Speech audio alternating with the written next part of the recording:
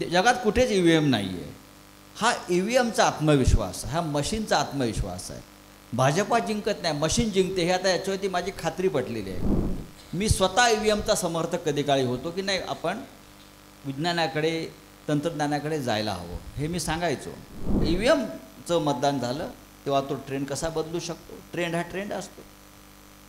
याच्यावरून मला पूर्ण खात्री पटते की दया कुछ तो गडबड है. ज्या दिवशी या देशातली जनता रस्त्यावर उतरून ई व्ही एम जाळेल बरं का? जगात कुठेच ई व्ही एम नाही आहे हा ई व्ही एमचा आत्मविश्वास हा मशीनचा आत्मविश्वास आहे. भाजपा जिंकत नाही मशीन जिंकते हे आता याच्यावरती माझी खात्री पटलेली आहे. मी स्वतः ई व्ही एमचा समर्थक कधी काळी होतो की नाही आपण विज्ञानाकडे तंत्रज्ञानाकडे जायला हवं हे मी सांगायचो. पण अलीकडच्या काळात विशेषतः मध्य प्रदेशचे निकाल ज्या पद्धतीनं लागले ते लागूच शकत नव्हते. मला माहिती आहे. तेव्हा मला वाटलं की गडबड आहे. मलाही वाटतंय गडबड आहे. ई व्ही एम जर नसेल तर भारतीय जनता पक्ष ग्रामपंचायत पण जिंकणार नाही. हे माझं आता पक्क खातं विरोधकांचं म्हणणं असं विरोधकांचं म्हणणं असं आहे की ईव्हीएम जर आहे तर तेलंगणात पण निकाल लागला. ईव्हीएम जर आहे तर महानगरपालिका निवडणूक घेण्याची भीती का वाटते? विरोधकांचं किंवा भाजपच्या लोकांचं म्हणणं असं असतं की जेव्हा विरोधक हरतात तेव्हा ईव्हीएम आणि जेव्हा जिंकतात तेव्हा काय मग? ई व्ही एममध्ये घोटाळा आहे. हा किडा टाकणारे भाजपवालेच आहेत ना.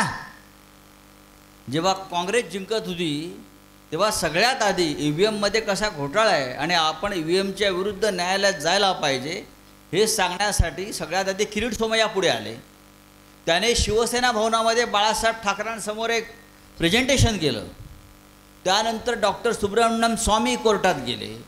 आणि देशभरामध्ये ई व्ही एम घोटाळ्यासंदर्भात लोकांना जागरूक करण्याचं काम तेव्हा भारतीय जनता पक्ष करत होता. हा भारतीय जनता पण याच्यात एक तांत्रिक मुद्दा असा आहे सर की ई व्ही एमवर शंका काँग्रेसही घेतं आम आदमी पार्टीही घेते आपणही आता घेत आहात.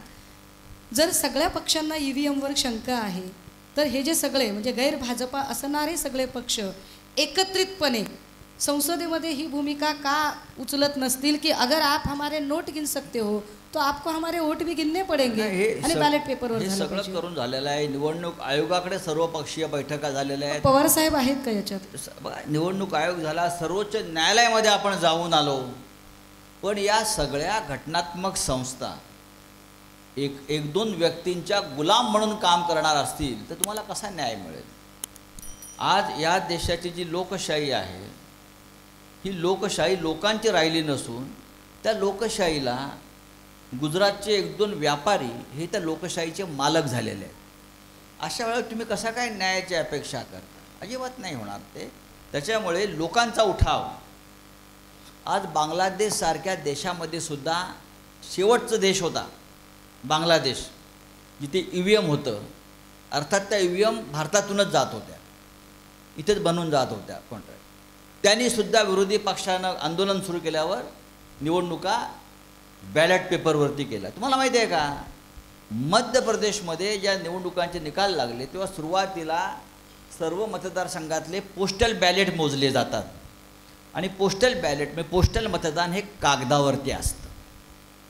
जवळजवळ एकशे नव्याण्णव मतदारसंघामध्ये काँग्रेस पक्ष आघाडीवर होता. मी मानतो तो ट्रेंड आहे. तो ट्रेंड जो बॅलेट पेपरवरती आला आणि ते मतदान हे देशभरातून होत असतं. शासकीय कर्मचारी असतील सैनिक असतील बाहेर गेलेले इतर काही लोक असतील त्यांचं मतदान आहे आणि ते मोठ्या प्रमाणात असतं. मध्य प्रदेशमधल्या एकशे नव्याण्णव ठिकाणी जवळजवळ काँग्रेस पक्ष त्या ट्रेंडनुसार आघाडीवर होता. पण जेव्हा इलेक्ट्रॉनिक म्हणजे ई व्ही एमचं मतदान झालं तेव्हा तो ट्रेंड कसा बदलू शकतो? ट्रेंड हा ट्रेंड असतो. ह्याच्यावरून मला पूर्ण खात्री पटते. कि दया कुछ तो गड़बड़ है।